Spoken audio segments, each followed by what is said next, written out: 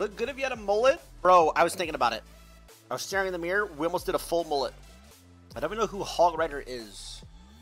Hog Rider. No, it's not even comparable. It makes that's actually kind of racist. I'm like, no, it doesn't look like it at all. His haircut's right on the bit like thinner. What are you talking about?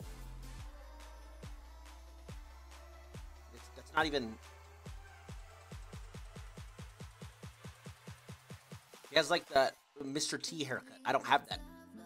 All I'm gonna say is right now, if me and every single person in this chat walked into a bar, right? Walked into the most popular bar in the world, every single girl and a guy would walk up to me and not you. That's all I gotta say about that. My mom cut it, by the way. So when you're flaming that, you're taking you're flaming my mom, and I'm taking that personal. Just saying.